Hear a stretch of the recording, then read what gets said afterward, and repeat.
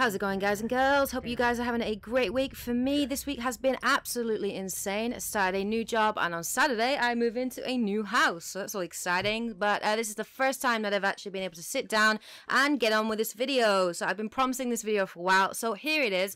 Finally, I'm going to actually weigh in on the whole console war thing that's going on. So this video is in in response really to a video that was came out uh, last week I think by Plain and Simple Man. I'll put the a link to the video in my description. It's a great video. Please go check it out. So here it goes. This is me weighing in on the console war.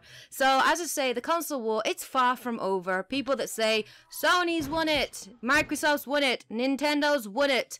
You're lying. The console war is going to be a long, drawn out war. There might have been some battles here and there and some victories here and there, but it's going to be a long, long stretch before a winner can actually be named.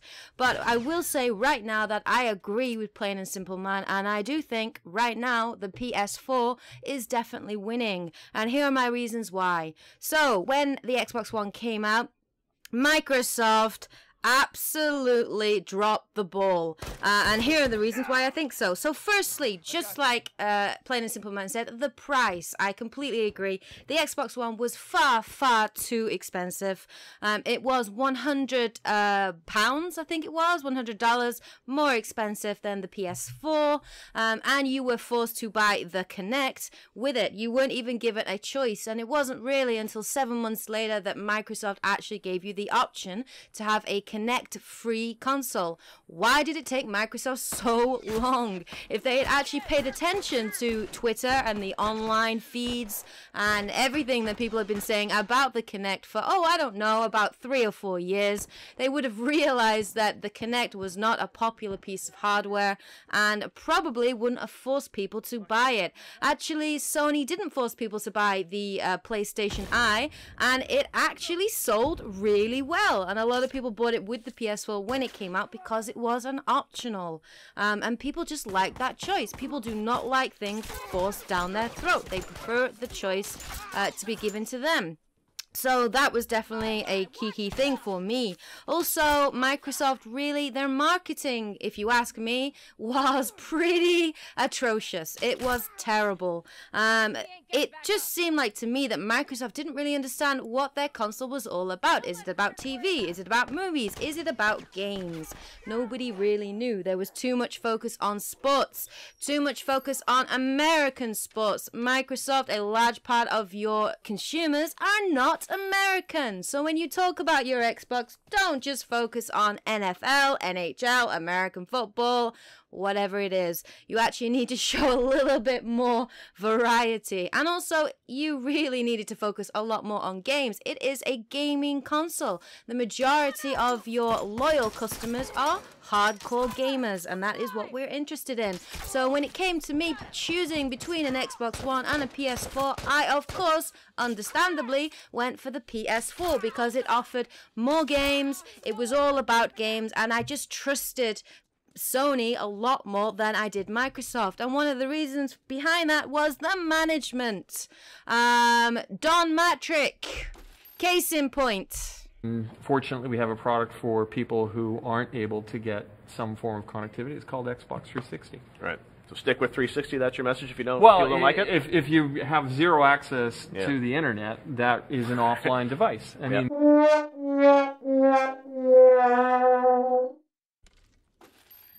absolutely awful. The management behind Microsoft was shocking. It's like they did not know what they were doing. They were on drugs. Who knows? Nobody knows. But seriously, some of the shit they were coming out with was just hilarious. Um, but I will say this Microsoft actually have good management now. I will say that the new Phil Spencer, I like him. He seems like a guy that knows what he's doing. He's got his head screwed firmly on his shoulders, and he is leading Microsoft in the right direction. So I will give Microsoft some credit there for actually turning around and going, you know what? Maybe we better get rid of this guy and replace him with somebody who knows what they're doing. And I'm not saying it was all Don Mattrick's fault. He obviously had a team around him, but at the time, pretty much the marketing and the management was atrocious, and that is one of the major reasons why they lost so many loyal customers. I am not a PlayStation fangirl. I am not an Xbox fangirl. I'm not a Nintendo fangirl. I am a gaming fangirl. I have owned an Xbox and an Xbox 360, and I was more than interested in buying an Xbox One. But after seeing the marketing and seeing the focus, I decided, you know what? I think the safest bet for me is to jump onto the PlayStation 4, and that is what I did and I have never regretted that decision. So, um, this is why I think the PS4 is winning. Uh, clearly, the statistics do prove it. Sony have released their first quarterly sales, and it is clear that the PlayStation 4 is outselling the Xbox One three to one. Numbers don't lie, YouTubers. It is definitely showing that the PlayStation has had the quicker start out of the gate. However, this war is far from over, and I will say that it's that Microsoft is gaining speed, and that since then, Microsoft have taken a number of steps to resolve some of the issues. They got rid of DRM, they got rid of only online, they dropped the god awful Kinect and reduced the price by 100 pounds. Um, and I will say that at the most recent E3 2014, Microsoft bought their A game and they actually were better than Sony. And they actually showed a lot of really, really good games that are coming out. They focused on games. That's what we wanted. They have listened to the fans. So I will say that Microsoft definitely I think they're going to make a comeback. Um, and definitely I do see them selling a lot more Xbox Ones in the coming year. Especially, I actually think right now Microsoft kind of have the edge on PlayStation 4. And the reason for that is there are more exclusives coming out on the Xbox One in 2014 than there are on the PlayStation 4. You have a lot of games coming out Sunset Overdrive, Forza Horizon 4, the new uh, Halo Master Chief Collection. All these things are coming out this year. So when it comes to choosing which console you're going to buy for yourself, your family, your boyfriend, your girlfriend, your children for this Christmas holidays, and you're going to look at those exclusives, Microsoft are going to have a lot more to offer. The major exclusives for PlayStation this year are really lacking. We only have Little Big Planet 3 pretty much, uh, but the major big dogs are not coming out till next year with the Order 1886, and I think that is a mistake on Sony's part. So, um, yes, I think PlayStation 4 is winning, but I do think that Microsoft have actually um, dealt with some of the issues and are moving in a positive direction. Now, what do I want to see from the big three coming up? Well, obviously, I want to see more exclusive titles, and I don't mean timed exclusives. Like, for example, just today, the new Ryse Son of Rome, it has been revealed that that is coming out on PC. Titanfall was supposed to be an exclusive for Xbox One. That came out on PC. Really? Why would I buy an Xbox One if I could play that game on PC where it's cheaper and it's also going to be graphically more powerful and run smoother? I don't get that. So you need a lot more exclusives on your consoles, guys. Both of you definitely, definitely need that. Um, especially Sony. Sony, PlayStation Now, it's a great idea. It's too goddamn expensive. Reduce the price, please, on those PlayStation Now games. Renting something for a couple of hours for about three or four dollars? Are you kidding me? No, it's too expensive. Why don't you do some kind of online subscription? Hey, like Netflix, I don't know, $5.99 a month, play all the games that you like. Sounds good to me. I would totally subscribe for that. So I don't like the whole renting games individually, and I do think it should be a kind of subscription that you pay for. I think that's where they should go. All right, Nintendo. Now this is the this is the area that I significantly disagree with plain and simple man on. I agree that Nintendo have done many mistakes. I agree that Nintendo are in a very very sticky situation right now, but I disagree on the way that they should change. Now, plain and simple man seems to think that Nintendo should start to be like Xbox, like PlayStation 4. I actually disagree with that. I think Nintendo should continue to be unique. Um, why should everybody play football? Why should everybody have all first person shooters or all the same kind of games? That just makes the game market um, very, very boring. So I like the fact that Nintendo is different. I like the fact that Nintendo offers a different kind of gaming experience.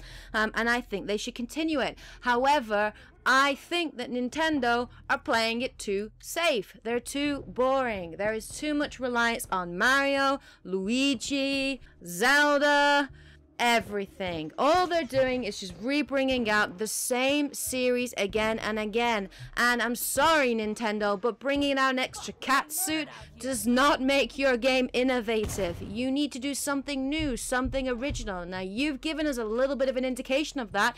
E3 was good for you this year, and I have to say, the new Splatoon, it's got me excited. I'm really looking forward to that, and that game actually sparked some interest for me. Please bring more games like that. Um, I honestly think Nintendo used to be a company that took risks. It pioneered. It was the first major games console that really did it differently. Different kind of games. They need to get back to that. They need to take risks.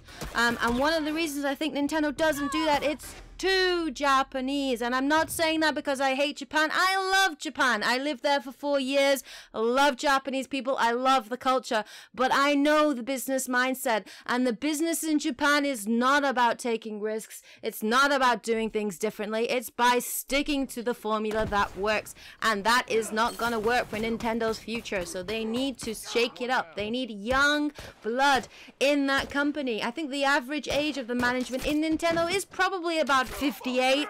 It's too old, so they need to move forward. Um, so I want to see Nintendo do more innovation, more different games.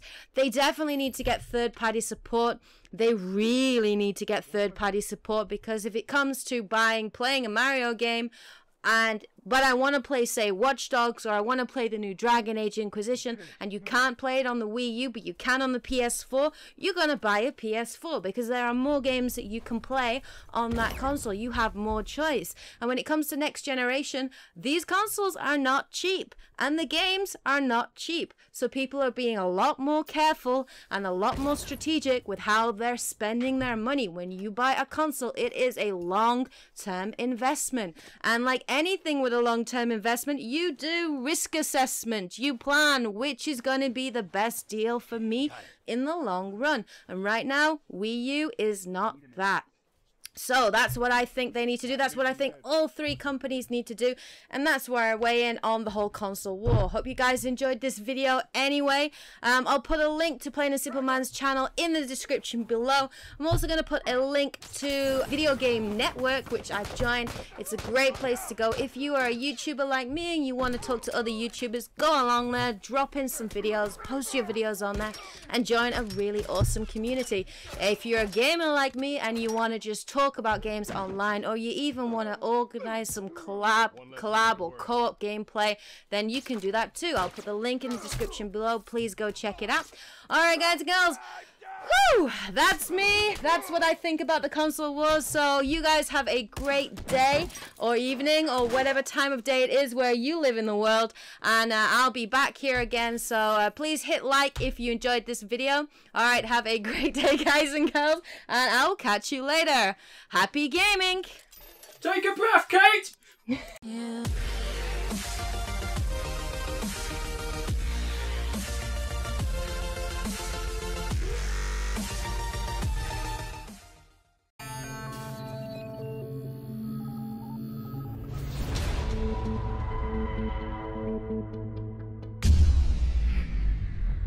How's it going, guys and girls? Hope you guys are having a great week. For me, this week has been absolutely insane. I started a new job, and on Saturday, I move into a new house. So that's all exciting. But uh, this is the first time that I've actually been able to sit down and get on with this video. So I've been promising this video for a while. So here it is. Finally, I'm going to actually weigh in on reasons why I think so. So, firstly, just like uh, Plain and Simple Man said, the price. I completely agree. The Xbox One was far, far too expensive. Um, it was 100. Uh, uh, pounds, I think it was, $100 more expensive than the PS4.